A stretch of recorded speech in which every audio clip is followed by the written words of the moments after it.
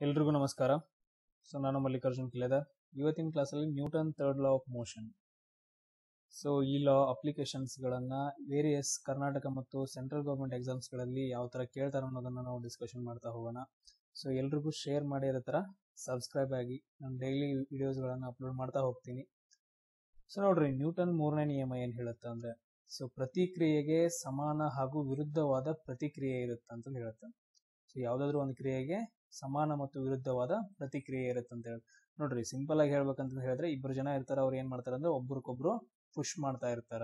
ಸ್ಯಾಂಡ್ಸ್ಗಳಿಂದ ಒಬ್ರಿಗೊಬ್ರು ಪುಷ್ ಮಾಡ್ತಾ ಇರ್ತಾರ. ಇವನ್ ಏನ್ ಮಾಡ್ತಾನ ಅಂತ ಹೇಳಿದ್ರೆ ಇವನ್ ಮೇಲೆ ಒಂದು ಫೋರ್ಸ್ ಹಾಕ್ತಾನ ಎಫ್ ಒನ್ ಅದೇ ತರ ಕೂಡ ಇವನು ಏನ್ ಮಾಡ್ತಾನ ಅಂತ ಹೇಳಿದ್ರೆ ಇನ್ನೊಬ್ಬನ ಮೇಲೆ ಸೇಮ್ ಫೋರ್ಸ್ ಅನ್ನ ಹಾಕ್ತಾನ ಎಫ್ ಸೊ ಅಂತಂದ್ ಹೇಳಿದ್ರೆ ಪ್ರತಿಯೊಂದು ಫೋರ್ಸ್ಗೆ ಸಮಾನ ಮತ್ತು ವಿರುದ್ಧ ದಿಕ್ಕಿಗೆ ಏನಿರುತ್ತೆ ಅಂತ ಹೇಳಿದ್ರೆ ಪ್ರತಿಕ್ರಿಯೆ ಇರುತ್ತ. ವಿರುದ್ಧವಾದ ಫೋರ್ಸ್ ಅಪ್ಲೈ ಆಗತ್ತೆ ಅಂತ ಯಾವ್ದು ಹೇಳುತ್ತೆ? ನ್ಯೂಟನ್ನ ಮೂರನೇ ನಿಯಮ ಹೇಳುತ್ತೆ.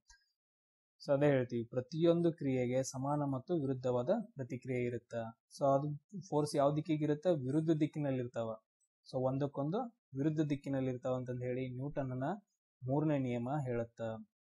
ಸೊ ನೋಡ್ರಿ. ಡೇ ಟು ಡೇ ಲೈಫ್ ಅಲ್ಲಿ ನ್ಯೂಟನ್ ಮೂರನೇ ನಿಯಮದ ಅನ್ವಯಗಳು ಅಪ್ಲಿಕೇಶನ್ಸ್ ಅಂತ ನೋಡ್ತಾ ಹೋಗೋಣ. ಸೊ ಫಸ್ಟ್ ಒನ್ ನೋಡ್ರಿ ಬೋಟ್ ಚಲಿಸುವುದು. ಸೊ ನಾವು ಬೋಟ್ ಅನ್ನ ಚಲಿಸಿದಾಗ ನೋಡ್ರಿ, ನಾವಿಕ ಏನ್ ಮಾಡ್ತಾನ ಅಂತ ಹೇಳಿದ್ರೆ ಹುಟ್ಟನ್ನ ತಗೊಂಡು ಏನ್ ಮಾಡ್ತಾನ ಅಂದ್ರೆ ನೀರನ್ನ ಹಿಂದಕ್ಕೆ ಇಳಿತಾನ ಸೊ, ಇದೇನಂತಂದ್ ಹೇಳಿದ್ರೆ ಆಕ್ಷನ್ ಆಗತ್ತ? ಸೊ, ಅದೇ ತರ ಏನಾಗತ್ತೆ ಅಂದ್ರೆ ಬೋಟು ಮುಂದ್ಗಡೆ ಮೂವ್ ಆಗ್ತಾ ಹೋಗುತ್ತೆ? ಇದೇನಂತ ಹೇಳಿದ್ರೆ ರಿಯಾಕ್ಷನ್ ಸೊ, ಒಂದು ರಿಯಾಕ್ಷನ್ಗೆ ಸಮಾನವಾದ ಮತ್ತು ವಿರುದ್ಧವಾದ ರಿಯಾಕ್ಷನ್ ಇರುತ್ತೆ. ಕ್ರಿಯೆಗೆ ಪ್ರತಿಕ್ರಿಯೆ ಅಂತ ಹೇಳ್ತೀವಿ. ಇದೇನಂತಂದ್ ಹೇಳಿದ್ರೆ ಬೋಟ್ ಚಲಿಸುವುದು. ಸೊ ನೆಕ್ಸ್ಟ್ ಎಕ್ಸಾಂಪಲ್ ನೋಡ್ರಿ ರಾಕೆಟ್ ಚಲಿಸುವುದು ಅಂತ ಹೇಳ್ತೀವಿ. ಸೊ, ನೋಡ್ರಿ ರಾಕೆಟ್ ಅಲ್ಲಿ ಏನಿರುತ್ತೆ ಅಂತಂದ್ ಹೇಳಿದ್ರೆ ಫ್ಯೂಯಲ್ ಇರುತ್ತೆ. ಸೊ ಈ ಫ್ಯೂಯಲ್ ಏನ್ ಮಾಡ್ತೀವಿ ಅಂತ ಹೇಳಿದ್ರೆ, ದಹನ ಕ್ರಿಯೆ, ಅಂದ್ರೆ ದಹನ ಕ್ರಿಯೆ ಒಳಪಡಿಸಿದಾಗ ಏನಾಗುತ್ತೆ ಅಂತ ಹೇಳಿದ್ರೆ ಗ್ಯಾಸಸ್ ಏನಾಗ್ತಾವ ಅಂದ್ರೆ ಎಕ್ಸಾಸ್ಟ್ ಆಗ್ತಾವ. ಸೊ ಗ್ಯಾಸಸ್ಗಳು ಕೆಳಗಡೆ ಎಕ್ಸಾಸ್ಟ್ ಆದಾಗ ಏನಾಗುತ್ತೆ ಅಂತ ಹೇಳಿದ್ರೆ ರಾಕೆಟ್ ಮೇಲೆ ಫೋರ್ಸ್ ಅಪ್ಲೈ ಆಗಿ ರಾಕೆಟ್ ಏನ್ಗಡೆ, ಮೇಲ್ಗಡೆ ಚಲಿಸ್ತಾ ಹೋಗುತ್ತೆ. ಸೊ ನಾವು ಹೇಳ್ತೀವಿ.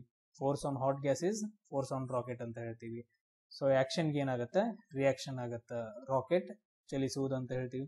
ನೆಕ್ಸ್ಟ್ ಅನ್ವಯ ನೋಡ್ರಿ ಅಪ್ಲಿಕೇಶನ್ ಸೊ ನಾವು ಬಲೂನ್ಗಳಲ್ಲಿ ಏನ್ ಮಾಡ್ತೀವಿ ಅಂತ ಹೇಳಿದ್ರೆ ಏರನ್ನ ತುಂಬಿಟ್ಟು ಸೊ ಅದನ್ನ ಕೆಳಗಡೆ ಬಿಟ್ಬಿಟ್ಟಾಗ ಏನಾಗುತ್ತೆ ಅಂತಂದು ಹೇಳಿದ್ರೆ ಅದು ಮೇಲ್ಗಡೆ ಹಾರಾಡ್ತಾ ಹೋಗುತ್ತೆ. ಸೊ ಎಲ್ಲ ಡೈರೆಕ್ಷನ್ಗಳಲ್ಲಿ ಸೊ ಮೇಲ್ಗಡೆ ಫ್ಲೈ ಆಗುತ್ತೆ.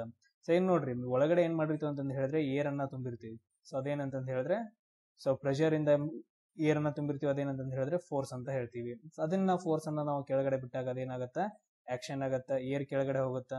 ಸೊ ಈ ಏರ್ ಪ್ರೆಷರ್ ಇಂದ ಫೋರ್ಸ್ ಏನಾಗುತ್ತೆ ಅಂತಂದು ಹೇಳಿದ್ರೆ ಮೇಲ್ಗಡೆ ಎಕ್ಸರ್ಟ್ ಆಗುತ್ತೆ. ಇದೇನಂತಂದು ಹೇಳಿದ್ರೆ ಬಲೂನ್ ಗೋಸ್ ಆಫ್ ಅಂತ ಹೇಳ್ತೀವಿ. ಮೇಲ್ಗಡೆ ಬಲೂನ್ ಹಾರಾಡುತ್ತೆ. ಸೊ ಇದೇನಂತ ಹೇಳಿದ್ರೆ ರಿಯಾಕ್ಷನ್ ಸೊ ನೆಕ್ಸ್ಟ್ ನೋಡ್ರಿ. ಬಂದೂಕುಗಳ ಹಿಮ್ಮೆಟ್ಟುವಿಕೆ ಅಂತ ಹೇಳ್ತೀವಿ. ಸೊ ನಾವು ಬಂದೂಕಿನಿಂದ ನಾವು ಗುಂಡನ್ನ ಫೈರ್ ಮಾಡಿದಾಗ ಏನಾಗುತ್ತೆ ಅಂತಂದು ಹೇಳಿದ್ರೆ ಬಂದೂಕು ಮುಂದ್ಗಡೆ ಹೋಗುತ್ತೆ. ಅದೇ ತರ ಸೇಮ್ ಅಮೌಂಟ್ ಆಫ್ ಫೋರ್ಸ್ ಏನಾಗುತ್ತೆ ಅಂತಂದು ಹೇಳಿದ್ರೆ ಹಿಂದ್ಗಡೆ ರಿಕಾಯಿಲ್ ಫೋರ್ಸ್ ಅಂತಂದು ಹೇಳಿ ಎಕ್ಸರ್ಟ್ ಆಗುತ್ತೆ. ಒಂದ್ ಸ್ವಲ್ಪ ಏನಾಗುತ್ತೆ ಅಂತಂದು ಹೇಳಿದ್ರೆ ಹಿಂದ್ಗಡೆ ಮೂವ್ಮೆಂಟ್ ಆಗುತ್ತೆ. ಜರ್ಕ್ ಹೊಡೆದಂಗ ಆಗುತ್ತೆ ಸೊ ಎಲ್ಲಾದ್ರೂ ಬಂದೂಕನ್ನ ಲೂಸ್ ಹಿಡಿದಿತ್ತ ಅಂತಂದು ಹೇಳಿದ್ರೆ ಮನುಷ್ಯ ಏನಾಗ್ತಾನೆ ಅಂತ ಹೇಳಿದ್ರೆ ಫಾಲ್ ಆಗ್ಬಹುದು ಕೆಳಗಡೆ ಬೀಳ್ಬೋದು. ಸೊ ಗುಂಡನ್ನ ಹಾರಿಸಿದಾಗ ಏನಂತ ಹೇಳಿದ್ರೆ ಹಿಂದಕ್ಕೆ ಜಗ್ಗುತ್ತದೆ ಅಂತ ಹೇಳ್ತೀವಿ. ಸೊ ನೆಕ್ಸ್ಟ್ ಎಕ್ಸಾಂಪಲ್ ನೋಡ್ರಿ bouncing of a ball so ನಾವು ಸಣ್ಣಾಗಿರ್ತಾಗೆಲ್ಲ ಆಟ ಆಡಿರ್ತೀವಿ. ಸೊ ಬಾಲ್ನ ತಗೊಂಡ್ಬಿಟ್ಟು ನೆಲಕ್ಕೆ ಒಗೆಯೋದು, ಆಮೇಲೆ ಕ್ಯಾಚ್ ಹಿಡಿಯೋದು, ಇಲ್ಲ ಅಂತ ಹೇಳಿದ್ರೆ ಬಾಲ್ ಅನ್ನ ಏನ್ ಮಾಡ್ತೀವಿ ಅಂದ್ರೆ ಗೋಡೆಗೆ ಒಗೆಯೋದು, ಆಮೇಲೆ ಕ್ಯಾಚ್ ಹಿಡಿಯೋದು ಅಂತ ಹೇಳ್ತೀವಿ. ಸೊ ನಾವು ನೆಲಕ್ಕೆ ಗೋಡೆಗೆ ನಾವು ಬಾಲ್ ಅನ್ನ ಒಗಿತೀವಿ ಇದೇನಾಗತ್ತೆ ಅಂದ್ರೆ ಆಕ್ಷನ್ ಆಗತ್ತೆ, ಕ್ರಿಯೆ ಆಗತ್ತೆ? ಸೊ ಬಾಲ್ ಏನಾಗುತ್ತೆ ಅಂದ್ರೆ ಬೌನ್ಸ್ ಆಗಿ ಮತ್ತೆ ಮೇಲ್ಗಡೆ ಬರುತ್ತೆ. ಇದಕ್ಕೆ ನಾವೇನು ಹೇಳ್ತೀವಿ? ಪ್ರತಿಕ್ರಿಯೆ ಅಂತ ಹೇಳ್ತೀವಿ. ಸೊ ಇದು ಕೂಡ ನ್ಯೂಟನ್ನ ಮೂರನೇ ನಿಯಮದ ಅಪ್ಲಿಕೇಶನ್ ಸೊ ಅದೇ ತರ ನೋಡ್ರಿ ನೆಕ್ಸ್ಟ್ ಒಂದು ಈಜುವುದು ಸ್ವಿಮ್ಮಿಂಗ್ ಹೇಳ್ತೀವಿ. ಸೊ ನಾವು ನೋಡ್ರಿ, ಬಾವ್ಯಾಗಾಗ್ಲಿ ಇಲ್ಲ ಅಂತಂದ್ರೆ ಹೇಳಿದ್ರೆ ಕೆರೆಯಲ್ಲಾಗ್ಲಿ ಅಥವಾ ನದಿಗಳಲ್ಲಿ ನಾವು ಸ್ವಿಮ್ ಬೀಳ್ತೀವಿ. ಸ್ವಿಮ್ ಬಿದ್ದಾಗ ಏನಾಗ್ತೀವಿ ಅಂದ್ರೆ ನೀರನ್ನ ಹಿಂದೆ ಜಗ್ತೀವಿ. ಸೊ ನೀರನ್ನ ಎರಡು ಕೈಯಿಂದ ಹಿಂದೆ ಜಗ್ತೀವಿ. ಸೊ ಹಿಂದ್ಗಡೆ ನೀರು ಜಗ್ದಾಗ ಏನಾಗುತ್ತೆ ಅಂತ ಹೇಳಿದ್ರೆ, ಇದು ಆಕ್ಷನ್ ಆಗುತ್ತಾ, ಕ್ರಿಯೆ ಆಗತ್ತ?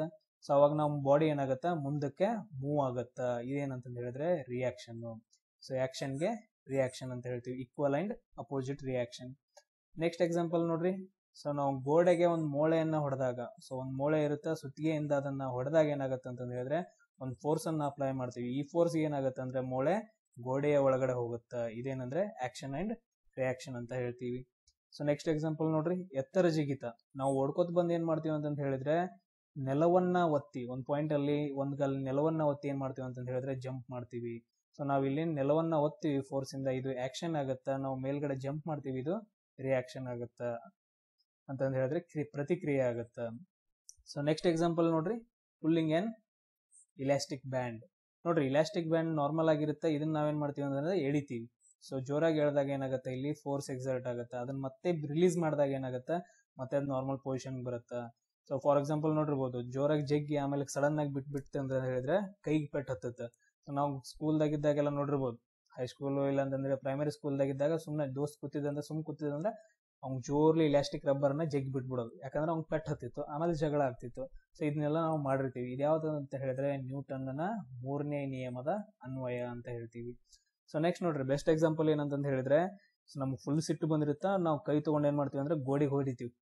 ಜೋರ್ಲಿ ಗೋಡೆಗೆ ಗುದ್ದುತ್ತೀವಿ. ಇದೇನಂತ ಹೇಳಿದ್ರೆ ಆಕ್ಷನ್ ಕ್ರಿಯೆ ಸೊ ಅವಾಗ ಅಂತ ಹೇಳಿದ್ರೆ ಗೋಡೆ ಕೂಡ ಅಷ್ಟೇ ಫೋರ್ಸ್ ಅನ್ನ ಎಕ್ಸರ್ಟ್ ಮಾಡುತ್ತಾ. ಅವಾಗ ನಮ್ಮ ಕೈಗೆ ಏನಾಗತ್ತ? ಪೆಟ್ ಹತ್ತತ್ತ. ಇದೇನಂದ್ರೆ ಪ್ರತಿಕ್ರಿಯೆ. ಸೊ ಇದಷ್ಟೇ ಇಲ್ಲ. ಇನ್ನೂ ಎಷ್ಟೋ ಎಕ್ಸಾಂಪಲ್ಸ್ ಗಳಿದಾವ. ಫಾರ್ ಎಕ್ಸಾಂಪಲ್ ಇವಾಗ ನೋಡಿರ್ಬೋದು, ಮುಟ್ಟಿದರೆ ಮುನಿ ಎಂಬ ಗಿಡ ಅಂತ ಹೇಳಿದ್ರು. ಮುಟ್ಟಿದರೆ ಮುನಿ ಎಂಬ ಗಿಡ. ಸೊ ಈ ಗಿಡವನ್ನ ನೀವು ಎಲ್ಲರೂ ಮುಟ್ಟಿರಿ ಅಂತಂದು ಹೇಳಿದ್ರೆ ನಾರ್ಮಲ್ ಆಗಿ ಸೊ ಈ ತರ ಎಲೆಗಳಿರ್ತಾವ. ಮುಟ್ಟಿದ ತಕ್ಷಣ ಏನಾಗುತ್ತೆ ಅಂತಂದು ಹೇಳಿದ್ರೆ ಅದು ಮುದುಡಿಬಿಡುತ್ತೆ. ಸೊ ಅದ್ರ ಎಲೆಗಳೆಲ್ಲ ಏನಾಗ್ತಾವ? ಮುದಿಡ್ ಬಿಡುತ್ತಾವ. ಸೊ ಇದು ನ್ಯೂಟನ್ ಮೂರನೇ ನಿಯಮ ಅಲ್ಲ. ಬಟ್ ಆದ್ರೆ ಇದನ್ನ ನಾವು ಬಯಾಲಜಿಯಲ್ಲಿ ಏನು ಹೇಳ್ತೀವಿ ಅಂದ್ರೆ ಪ್ರಚೋದನೆಗೆ ತಕ್ಕ ಪ್ರತಿಕ್ರಿಯೆ ಅಂತ ಹೇಳ್ತೀವಿ. ಪ್ರಚೋದನೆಗೆ ತಕ್ಕ ಪ್ರತಿಕ್ರಿಯೆ. ಸೊ ನೋಡಿ ನ್ಯೂಟನ್ನ ಮೂರನೇ ನಿಯಮಗಳು ಹಲವಾರು ಎಕ್ಸಾಂಪಲ್ಸ್ಗಳಿದಾವೆ ಅವುಗಳನ್ನ ಸ್ವಲ್ಪ ನೋಡ್ಕೊಡ್ರಿ ಸೊ ಇವುಗಳನ್ನ ಆಲ್ರೆಡಿ ಕೇಳಿರೋ ಕ್ವಶನ್ಸ್ ಗಳನ್ನ ಡಿಸ್ಕಷನ್ ಮಾಡಿದೀನಿ. ಸೊ ನೆಕ್ಸ್ಟ್ ಕ್ಲಾಸ್ದಲ್ಲಿ ಮತ್ತೆ ಹೆಚ್ಚಿನ ಅಪ್ಲಿಕೇಶನ್ ಕ್ವಶನ್ಸ್ ಗಳನ್ನ ನಾನು ಡಿಸ್ಕಷನ್ ಮಾಡ್ತಾ ಹೋಗ್ತೀನಿ. ಸೊ ಎಲ್ರಿಗೂ ಶೇರ್ ಮಾಡಿ ಅದೇ ತರ ಸಬ್ಸ್ಕ್ರೈಬ್ ಆಗಿ. Thank you